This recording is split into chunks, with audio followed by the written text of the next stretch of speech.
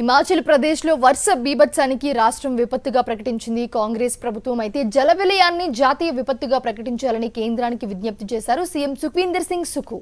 వర్షాలు కొండచర్యలు విరిగిపడిన ఘటనల్లో హిమాచల్లో మరణించిన వారి సంఖ్య డెబ్బై ఐదుకు చేరింది. వర్షాకాలం ప్రారంభమైనప్పటి నుంచి కూడా ఇప్పటి వరకు రెండు వందల పదిహేడు మంది ప్రాణాలు కోల్పోయారు.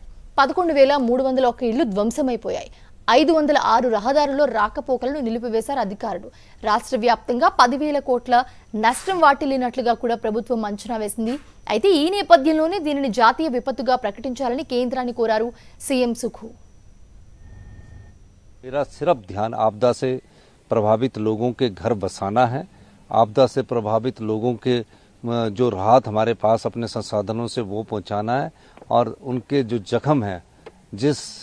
व्यक्ति, जिस आदमी ने अपना घर तिनका तिनका जोड़कर बनाया होता है, अगर वो उजड़ जाए, सिर्फ़ उनके जख्मों को अभी टेम्परेरी मरहम लगाकर उन्हें दोबारा से बसाने का निर्णय हमारी सरकार का कृत संकल्प है और हम इस दिशा में काम कर रहे हैं।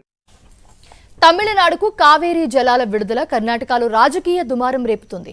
కాంగ్రెస్ ప్రభుత్వంపై విరుచుకుపడ్డాయి విపక్ష బీజేపీ జేడీఎస్ తమిళనాడు ప్రభుత్వం సుప్రీంకోర్టులో పిటిషన్ వేసిందని. అయితే నీళ్ళు విడుదల చేయడం ఏంటని నిలదీశారు మాజీ సీఎం బస్వరాజ్ బొమ్మాయి. ఇది కర్ణాటక రైతులను మోసం చేయడమే అన్నారు ఆయన. రాష్ట్ర సంక్షేమం కంటే కాంగ్రెస్కు రాజకీయమే ముఖ్యమైందంటూ మండిపడ్డారు జేడీఎస్ నేత కుమారస్వామి. డీఎంకేతో స్నేహం కోసం కర్ణాటక ప్రయోజనాలను తాకట్టు పెట్టిందంటూ సిద్ధు సర్కార్ దుయ్యబట్టారు.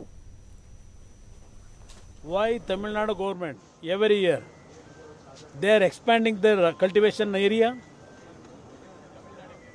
What is the allotment they have got for uh, standing Kurive crop?